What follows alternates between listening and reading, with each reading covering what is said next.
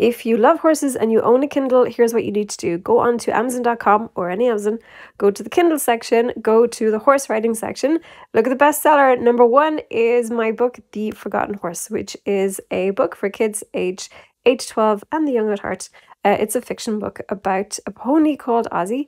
So the story is when a mysterious grey pony called Ozzie appears in the paddock by her home, 12 year old Clodagh's life is about to change dramatically.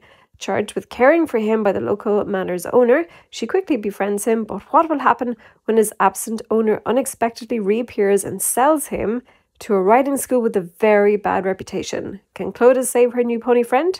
Or does she have to say goodbye to Ozzie forever?